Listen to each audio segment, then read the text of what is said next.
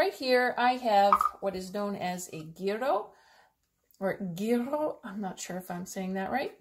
It is a wooden frog rasp instrument. So this is a percussion instrument and the drumstick fits right here in the frog's mouth. And the frog has these ridges on his back that help make the sound. And when you play him, it actually does sound a lot like a frog ribbit. So listen here.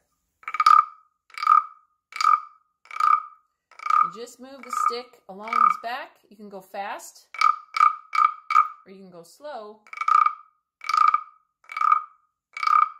But it does make a very satisfying sound, a very natural sound.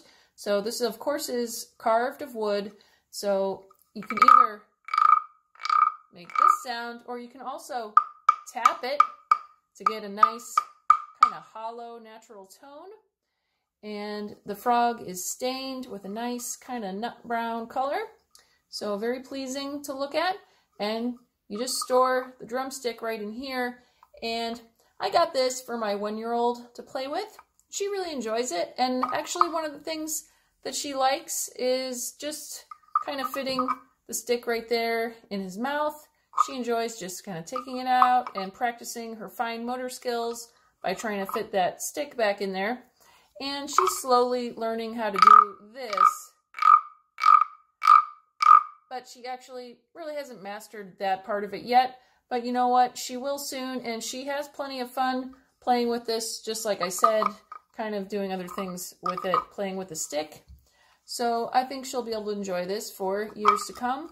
And I actually enjoy playing it. It's kind of a, a meditative activity just to sit here and the frog ribbit. Kind of reminds you of sitting by a pond late at night or like in the twilight hours when all the frogs start to ribbit. It's just a soothing sound. So I recommend having one of these, especially if you like to play percussion instruments. This is absolutely a necessity.